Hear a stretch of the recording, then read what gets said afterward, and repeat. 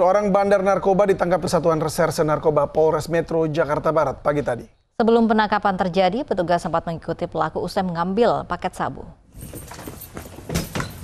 Dengan menggunakan senjata lengkap, petugas Reserse Narkoba Polres Metro Jakarta Barat menggerebek sebuah tempat persembunyian dan narkoba di kawasan Cengkareng, Jakarta Barat. Gerebekan dilakukan usai petugas mengikuti seorang pemuda yang baru saja mengambil paket sabu. Dari dalam tempat persembunyian pelaku, petugas menemukan kristal putih yang diduga sabu yang disembunyikan di dalam dua kardus susu bayi dengan jumlah sekitar 500 gram. Guna kepentingan penyidikan, lebih lanjut petugas membawa tersangka ke Mapores Metro Jakarta Barat.